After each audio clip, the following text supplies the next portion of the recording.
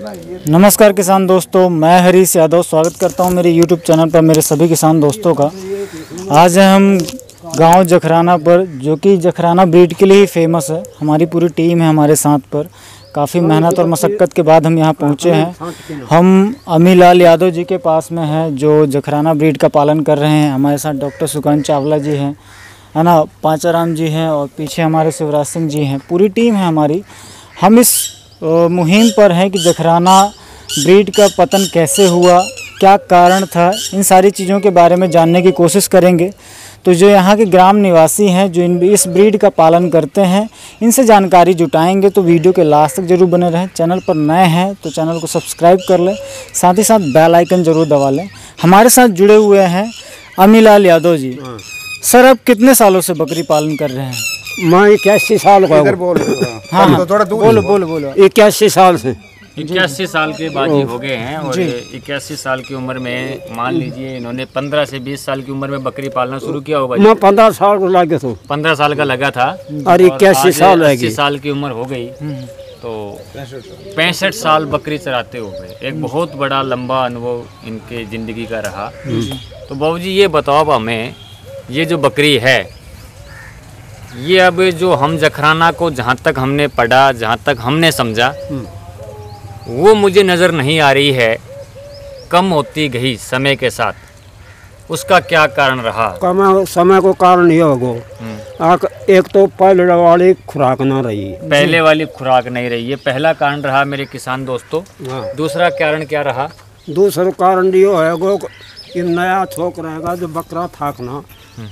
अलग नस्ल का। अलग नस, अलग नस्ल का छोड़ दिया। था अब अब नस्ल का नस्ल के बकरे से मतलब यही रहा कि ब्रीडिंग हाँ। प्रॉपर ब्रीडिंग नहीं हो पाई और ब्रीडिंग नहीं हो पाई तो इसका जो रिज़ल्ट है अब लुप्त सा होता हुआ मैं आपको दिखा रहा हूँ ये जो जखराना ब्रीड जो अपने ब्रीड के लिए जानी जाती है आज मैं इस बच्ची को पकड़ता हूँ देखिए ये बच्ची जैसे ये छोटी सी बच्ची है। इन्होंने इस छोटी सी उम्र में इसको प्रेग्नेंट करा दिया। और ये देखिए जहाँ तक मैं बताता हूँ ये दांत कर चुकी है दो दांत। ये देखिए। दो दांत कर चुकी है ये चार दांत की ओर अग्रसर है। ये देखिए दो दांत कंप्लीट तो इस तरह में दो दांत की जब बच्ची का वेट गेनिंग न होना और ये हो जाएगी। है? फिर वही इतनी हो जाएगी दो वर्ष की करा होगा जब इतनी बकरी हो हाँ मैं ये कह रहे हैं कि इन्होंने ये कहा कि जब वो बकरी की उम्र दो साल की हो जाए तो यहाँ आ जाएगी। अड़तीस की चालीस की हाइट आ जाए यह भी अब ये यह खार की ब्याही थी। ये पहले पट है। दिया है इसने। इसने जैसे दो किलो एक टाइम का। चार किलो दूध आप ये बता रहे हैं दोनों टाइम का।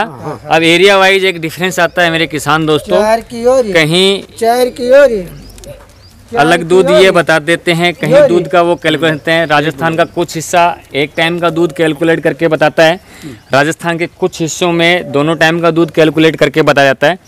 लेकिन जखराना जो जानी जाती है अपनी मिल्क कैपेसिटी के लिए अपनी हाइट के लिए वो बातें हमें नज़र नहीं आई क्योंकि कमियाँ कहीं ना कहीं रहती गई।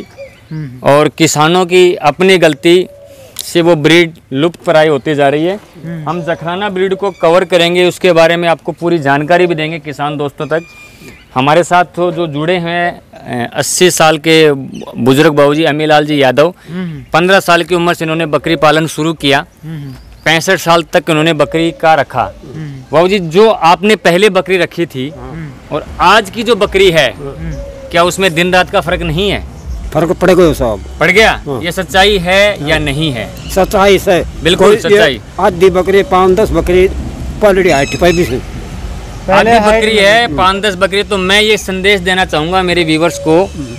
इस जखराना ब्रीड्स को दिल से पाले दिल से अपनाए किसान अपनाए या हम चाहते हैं कि जखराना रहे उसका वजूद रहे तो हम को कोशिश करनी पड़ेगी मेरे किसान दोस्तों। प्रयास हमें करना पड़ेगा और वो सच्चे मन से करना पड़ेगा। अलवर जिला अलवर ज़िले का ये बहरोड तहसील बहरोड तहसील का गाँव जखराना। यही है बाबू जी ये है जिला अलवर अलवर का ये बहरोड तहसील और बहरोल तहसील से 12 से 15 किलोमीटर की दूरी पे गाँव आता है जखराना। और इस जखराना गाँव के नाम पर ही इस ब्रीड का नाम पड़ा जखराना। अपनी मज़बूत कद काठी के लिए जानी जाती है ब्लैक कलर। इस ब्रीड के क्या नेचर हैं क्या इसके सिस्टम है मैं आपको बताऊँगा। फीचर्स में आपको देखने मिल रहा फीचर्स में होगा। मैं आपको ज़रूर बताऊँगा। कलर इसके हॉर्न्स जो रिसर्च जो रहा कि जखराना को लोग लाइक क्यों नहीं कर रहे हैं वजह क्या रही? एक बहुत अच्छी मिल्क कैपेसिटी की दूध। नेहरू जी प्रधानमंत्री के समय में इन्होंने विनिंग लिया हुआ है सात लीटर दूध का अवार्ड हाँ, मिला है बहू जी आपको बिल्कुल। सात किलो दूध का अवार्ड आपको मिला। कितने साल पहले मिला? सन हुआ तो अट्ठावन की बात नहीं जबकि वह नासर आए थे विदेश से। अच्छा। और जब मैं बहादुरपुर चिकाने ले गो था। बहादुरपुर चिकानी ये लेके गए थे नासर नेहरू- आया हुआ था था। नेहरू जी के टाइम में प्रधानमंत्री थे नेहरू जी आए थे। हाँ, नेहरू जी और वह ना सर। नासर दोनों प्रधानमंत्री दोनों प्रधानमंत्री आए थे। किसानों का एक सम्मेलन था ब्रीड के ऊपर हो रहा था। तब इस जखराना ब्रीड के इस किसान ने जो आज हमारे पास मौजूद हैं हमें ये बड़ा सौभाग्य है। हमें इनके चरण छूने का आशीर्वाद मिला। इक्यासी साल की उम्र में यानी कि साढ़े तीन लीटर दूध वन टाइम यानी कि दोनों टाइम का सात लीटर। दूध का रिकॉर्ड हाँ हाँ। इस ब्रीड ने बनाया। जी जी। लेकिन इतनी अच्छी ब्रीड होने के बावजूद इतनी मज़बूत कद काठी होने के बावजूद भी इस ब्रीड को कम करते गए लोग। ये जहाँ तक बाबूजी आपने 80 साल है तो आपके ये बाड़े में कम से कम आज मुझे लगना था कि 100 बकरी मौजूद होती। तो लेकिन यहाँ आज बकरी केवल 15 से 10 ही नहीं नज़र आई। तो कहीं ना कहीं ये दर्द है। आप मानते हो इस बात को? ये जमानो बदल गो जमाना बदल गया। जब रोई चरा बन ना रही।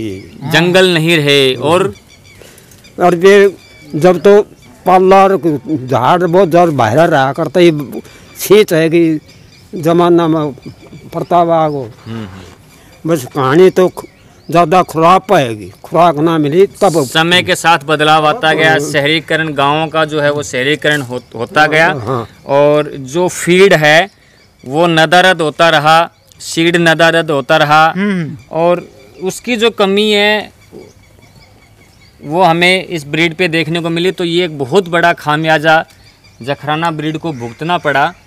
ये हमारी गलती रही हो या कुछ भी रहो लेकिन मैं अपने व्यूवर्स को ये कहना चाहूँगा कि इस ब्रीड को जो अगर हमें बचाना है ये लुप्त होती ब्रीड है हाँ हाँ। बहुत अच्छी ब्रीड है तो सरकार को और आप जैसे हमारे किसान दोस्तों को प्रयास करना होगा। सही बात है भाई साहब? वरना ये हमारी एक धरोहर है। अगर हम इस धरोहर को संजो के नहीं रख पाए तो आने वाला समय हमें इसके लिए कभी माफ़ नहीं करेगा। तो मैं इन्हीं आशाओं के साथ नई कलेक्शन पे बढ़ रहा हूँ, जखराना ब्रीड पे। तब तक के लिए मेरे सभी किसान दोस्तों को जय जवान, जय किसान। धन्यवाद। मैं एक चीज़ और इसमें ऐड करना चाहूँगा कि जैसे यहाँ पर जो मेन फैक्टर देखा हमें कि जैसे इन्होंने कहा क्रॉस ब्रीडिंग का तो ये जखराना का ही क्रॉस ब्रीड है। एंड आप देखेंगे कि जो दूसरा ब्रीडर इन्होंने उपयोग किया, एक ये बहुत अच्छा एग्ज़ाम्पल है, जो इसके, है ना, डिप्रिसिएशन का मतलब इसके गिराव का, इस ब्रीड के, और कुछ यहाँ पे भी बकरियाँ दिख रही हैं, जैसे ये देखने को मिल रहा है। ये ये बकरी भी जो आप देख रहे हैं, ये भी क्रॉस ब्रीड का ही रिज़ल्ट है, और यहाँ पर बाड़े में एक दो और बकरियाँ हैं, जैसे ये बैठी हुई बकरी है, ये भी एक क्रॉस ब्रीड ही बकरी है। मतलब अगर हम देखें तो यहाँ पर हमें जो देखने मिला, वो, है ना, लुप्त की कगार पर है जखराना। और जो मेन फैक्टर था, वो इनका खाने का, है ना, उनका सीड का, उनका फ़ीड का, और जगह ना होने की वजह से जो जखराना है, वो लगातार गिरती चली गई, पालन इसका घटता गया, और आज ये लुप्त होने की कगार पर है। तो दोस्तों, आप इस बात का ज़रूर ध्यान रखें कि जिस भी ब्रीड पर आप काम कर रहे हैं, चाहे वो सिरोही हो, चाहे वो सोजत हो चाहे वो आपके लोकल में पाई जाने वाली नस्ल हो, उस पर आपको विशेष तौर पर, है ना, एक रिसर्च आपको कंप्लीट तौर पर रखना है है ना, ताकि हमसे कोई पालन के दौरान गलती ना हो और हमारे यहाँ पर जो ब्रीड है वो बरकरार रहे, ताकि हमको इसका ब्रीडिंग परसेंटेज फीडिंग परसेंटेज और जो प्रोडक्शन रेट है वो बहुत अच्छा मिलता रहे। आशा करता हूँ ये जो हमारी जानकारी थी आपको पसंद आई होगी, पसंद आई तो इसे लाइक ज़रूर करें और ज़्यादा से ज़्यादा किसान दोस्तों तक इसे शेयर ज़रूर करें। Thank you thank you very much